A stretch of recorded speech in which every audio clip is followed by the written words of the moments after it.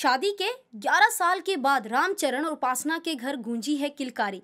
जी हाँ नन्ही परी पैदा होते ही 250 करोड़ की मालकिन बन गई। नमस्कार दोस्तों, स्वागत है आपका हमारे चैनल क्रिस्पी बॉलीवुड की क्रिस्पी खबरों में। नाटू नाटू गाने से ऑस्कर विनिंग एक्टर रामचरण के घर में एक नन्ही परी ने जन्म लिया है।